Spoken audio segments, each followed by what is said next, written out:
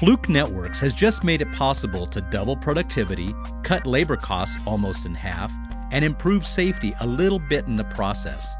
Interested? It's simpler than you think. We want you to start testing two fibers at the same time. Don't worry, we've got the how covered. Introducing SmartLoop OTDR.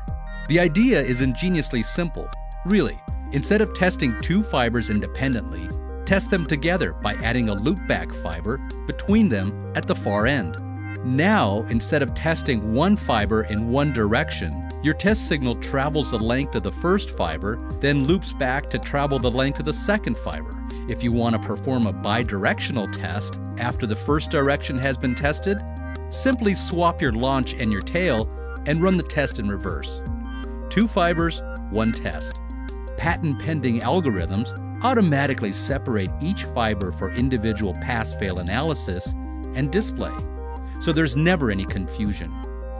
Simultaneous bidirectional testing means cutting the time and cost of fiber installation in half. Using the loopback fiber also means no more hauling expensive equipment into difficult, distant, or dangerous places.